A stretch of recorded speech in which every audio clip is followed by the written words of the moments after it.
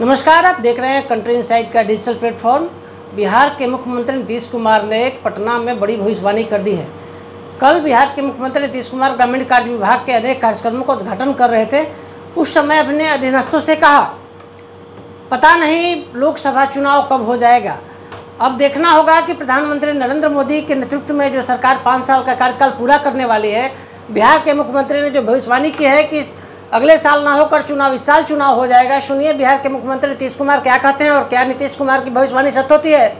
अगर आपको लगता है कि नीतीश कुमार की भविष्यवाणी सत्य है तो कमेंट कर बताइए। और अगर नहीं हो सकता है, सरकार अपना कार्यकाल पाँच साल का पूरा करेगी, उस पर भी आप मुझे कमेंट करके बताइए। नीतीश कुमार की भविष्यवाणी को सुनिए। नीतीश कुमार, अपने कार्यक्रम में क्या बोल रहे हैं?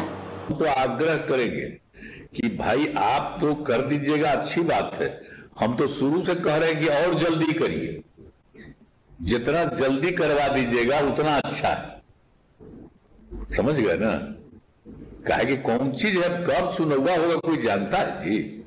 कोई ज़रूरी है कि अगले ही साल चुनाव होगा। कोई ठिकाना है कि और पहले ही चुनाव हो जाए।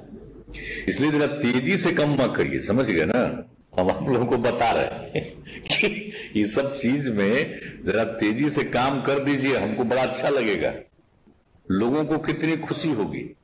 आज जो आप काम करते हैं अपने तरफ़ से तो इन सब चीज़ों को तो लोगों को मालूम ना होना चाहिए। और एकदम सब जगह के सड़क का बिल्कुल ठीक का नामकरण करिएगा।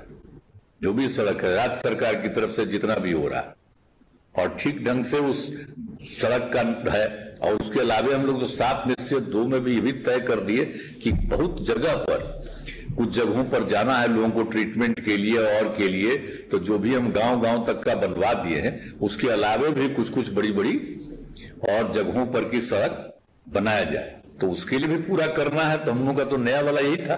तो पहले वाला जितना है, उसको भी पूरा करिए। Right message right communication Country side News.